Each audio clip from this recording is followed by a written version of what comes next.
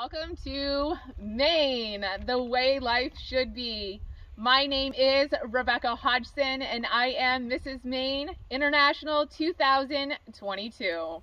I am a 2016 graduate of the University of Maine at Machias. My brother introduced me to the sport of running, which is where I met my husband, and together we have traveled to numerous states to run including a 5K race at Walt Disney World, Florida.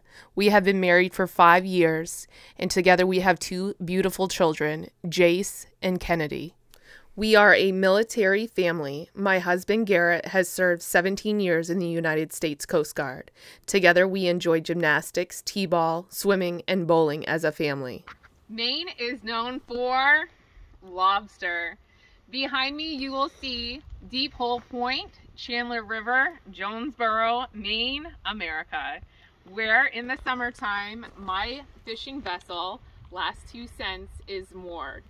I am a class one commercial lobster fisherman and also harvest clams commercially. I was born in 1989 when wooden lobster traps were popular.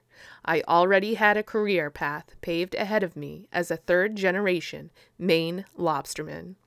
My father, John Cox Jr., helped me obtain a student lobster license at the age of 10, and I became a commercial Maine lobsterman at the age of 14. This summer, I will begin my 23rd season fishing for fresh lobster off the coast of Maine. My father, seen here, was diagnosed with bladder cancer in 2020.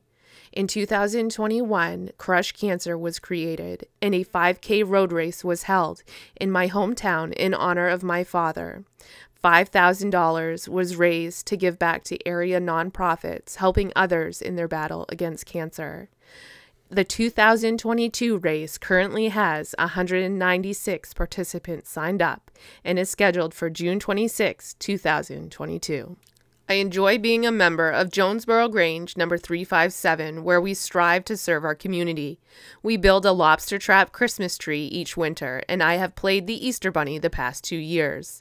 In 2021, I was honored as Maine State Grange Granger of the Year, and in 2022, I received the National Grange Community Service Directors Award.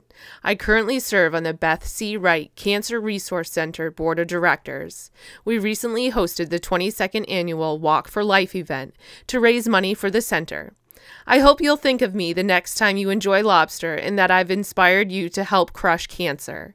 I am Rebekah Hodgson, Mrs. Maine International 2022.